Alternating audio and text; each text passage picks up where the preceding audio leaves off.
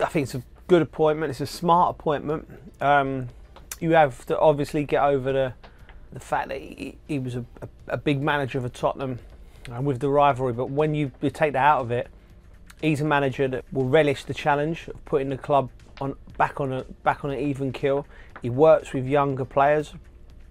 Um, he gets a high, a, a dynamic team, an energetic team. So all of all of the all of the reasons that you want to employ a manager for, uh, Pochettino ticks a box. So it's a, it's, a, it's exciting. Um, he just needs to be left alone now and just to do his work. You know, make sure you bring the players into the club that he wants to work with, that he feels are right for the team, and then and then and the recipe's there for success. I think a successful season for Chelsea has to be, you know, top four. Um, and again, it's just stabilising. Like a lot of, of, of, change at the club structurally. Uh, last season, to the high standards, it, it, wasn't it wasn't good enough.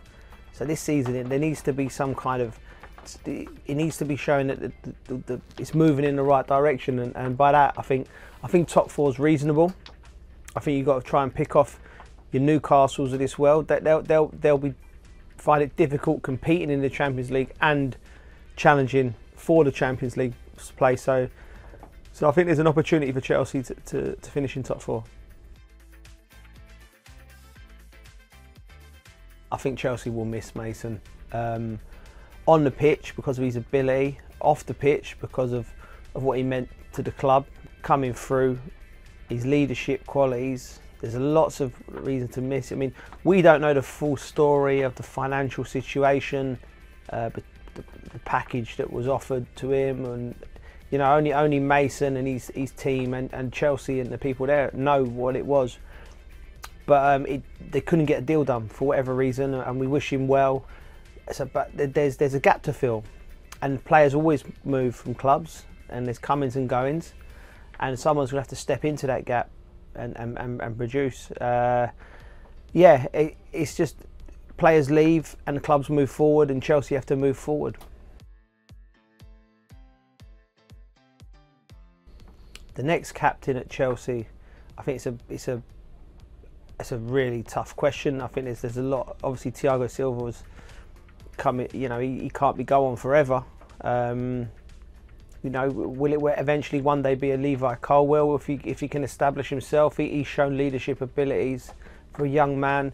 Reece James, I think, you know, he, he he's he's got the quiet leadership abilities. It's going to be it's going to be someone who's going to have to emerge. It might be it might be someone coming into the club I think that again, and, and, and players like Mason is left, you know, that leaves that leaves a hole.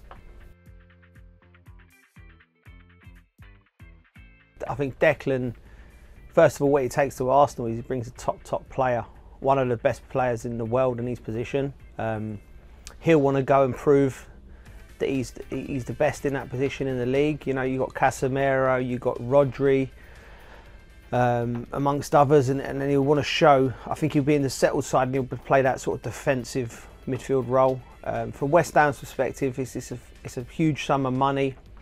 He goes with everyone's uh, best will, and, and the money has to be has to be respent. And you know you're gonna you're not going to replace Declan Rice light for light. You've got to bring in two or three players that strengthen the squad. I'd like to see Harvey Barnes come in to the club, like from a realistic perspective. Um, you know, that's someone he's going to want to play in the Premier League. He's a top player. He's a young English player, exciting. Um, would I would have loved to have seen James Maddison come in. I think we could have been in the market for, for him, but he, has gone to Tottenham. Um, there's lots of yeah, there's lots of lots of unrealistic targets you'd want, but but then but but Harvey Barnes is someone I'd like to see coming.